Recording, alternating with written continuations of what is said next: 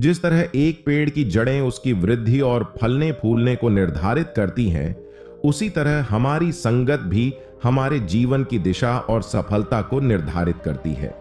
अच्छे दोस्त हमें सही रास्ते पर ले जाते हैं, जबकि बुरे दोस्त हमें भटका सकते हैं और हमारे जीवन को नष्ट कर सकते हैं। बुद्ध ने हमेशा इस बात पर ज़ोर दिया कि सफलता और खुशी पाने के लिए बुरी संगत से बचना आवश्यक है। उन्होंने सिखाया कि हमारी संगत हमारे विचारों, भावनाओं और कार्यों को प्रभावित करती है और यदि हम खुद को उन लोगों से घेरते हैं जो नकारात्मक और बुरी आदतों में लिप्त हैं तो हम भी उन आदतों को अपना लेंगे और अपनी क्षमता को कम कर देंगे। एक शांत गाँव में एक रामू नाम का लड़का रहता था जिसे अपनी परिश्रम और ईमानदारी के लिए जाना जाता था। वह हमेशा दूसरों की मदद करने के लिए तैयार रहता था और अपने जीवन में सफलता पाने का सपना देखता था। हालाँकि, कुछ समय बाद वह उन दोस्तों की संगत में पड़ गया जो जुए, चोरी और बेईमानी में लिप्त थे।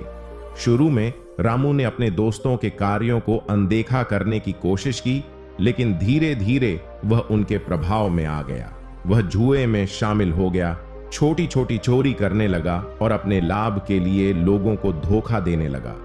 रामू के माता पिता और दोस्तों ने उसे चेतावनी दी और उसे अपने दोस्तों को छोड़ने के लिए कहा। लेकिन वह उनकी बात नहीं सुनता था।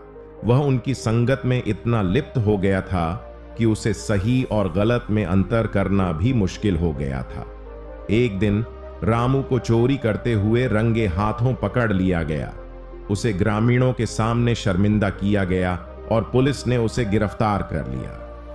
रामू के जीवन में अंधकार छा गया और उसे अपनी गलतियों का गहरा अफसोस हुआ। जेल में रहते हुए रामू को एक बौद्ध भिक्षु से मिलने का मौका मिला। भिक्षु ने रामू की कहानी सुनी और उसे समझाया कि उसकी परेशानियों की जड़ उसकी बुरी संगत है। उन्होंने रामू को सलाह दी कि वह अपने अतीत को छोड़ दे अपने मन को शुद्ध करे और अच्छे दोस्तों की संगत में रहने की कोशिश करे। भिक्षु के शब्दों से रामू के दिल में जागृति हुई। उसने अपनी पिछली गलतियों का पछतावा किया और अपने जीवन को बदलने का संकल्प लिया। जेल से छूटने के बाद, रामू ने अपने पुराने दोस्तों से दूरी बना ली और उन नए दोस्तों की संगत में शामिल हो गया, जो अच्छे संस्कारों वाले और सकारात्मक सोच रखने वाले थे। रामू ने अपनी बुरी आदतों को छोड़ दिया और अपने जीवन को नए सिरे से शुरू किया। वह फिर से ईमानदारी और परिश्रम से काम करने लगा और अपने जीवन में सफलता हासिल की। वह दूसरों की मदद करने के लिए भी समर्पित हो गया और अपने अनुभवों से सीख लेकर युवाओं को मार्गदर्शन देने लगा। यह बौद्ध कहानी हमें याद दिलाती है कि हमारी संगत हमारे जीवन पर गहरा प्रभाव डालती है। यदि हम खुद को अच्छे दोस्तों से घेर लेते हैं तो हम सकारात्मक सोच विकसित कर सकते हैं, अपने जीवन में सफलता प्राप्त कर सकते हैं और दूसरों की मदद कर सकते हैं। लेकिन अगर हम खुद को बुरी संगत से बचना एक ऐसा विषय है, जो सदियों से लोगों के लिए चिंता का विषय रहा है। बुद्ध ने भी इस विषय पर कई प्रवचन दिए हैं। उन्होंने कहा है कि बुरी संगत से बचना हमारे जीवन में सफलता के लिए सबसे महत्वपूर्ण बातों में से एक है। बुरी संगत से बचने के लिए कुछ महत्वपूर्ण सुझाव अपने आप को सकारात्मक लोगों से घेरें। अपने आसपास ऐसे लोगों को रखें जो आपका समर्थन करें और आपको प्रेरित करें। ऐसे लोगों से दूर रहें जो आपको नीचे खींचते हैं या आपको नकारात्मकता की ओर ले जाते हैं।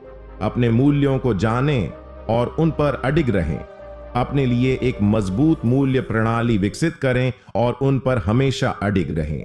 जब आप अपने मूल्यों को जानते हैं और उन पर अडिग रहते हैं तो आप उन लोगों से प्रभावित नहीं होते हैं जो आपको उनसे दूर ले जाना चाहते हैं। स्पष्ट सीमाएँ निर्धारित करें। उन लोगों के साथ स्पष्ट सीमाएँ निर्धारित करें जिनके साथ आप समय बिताते हैं।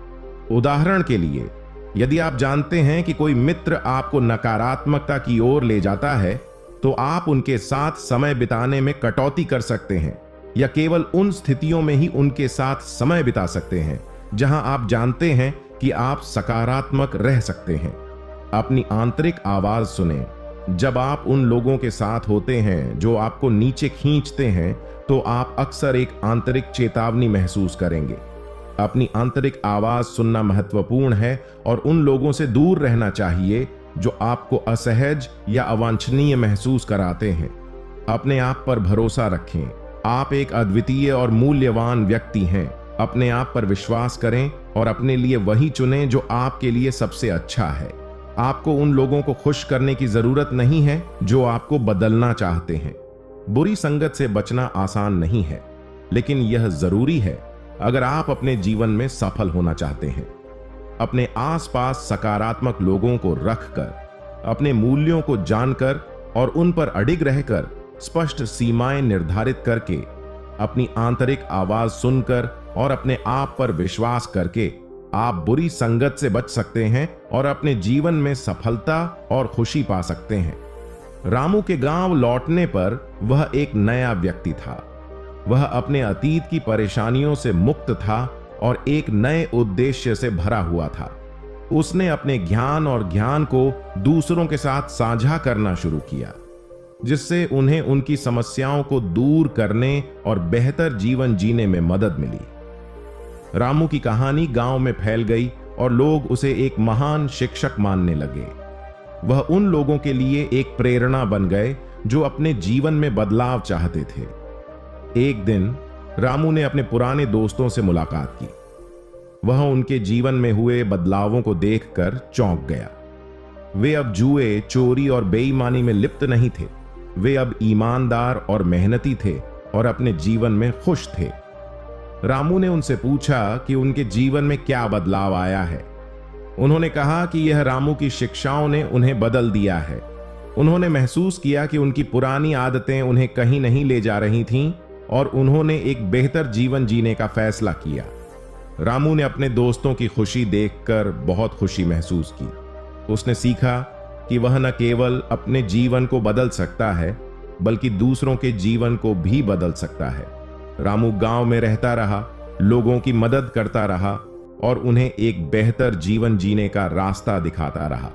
वह एक महान शिक्षक और प्रेरणा का स्रोत बन गया। इस कहानी से हमें पता चलता है कि हमारी संगत हमारे जीवन को निर्धारित करती है। अच्छे दोस्त हमें सही रास्ते पर ले जाते हैं, जबकि बुरे दोस्त हमें भटका सकते हैं। यदि हम सफलता और खुशी चाहते हैं तो हमें अपने आप को सकारात्मक प्रभावों से घेरना चाहिए और उन लोगों से दूरी बनानी चाहिए जो हमें भटकाते हैं। धन्यवाद।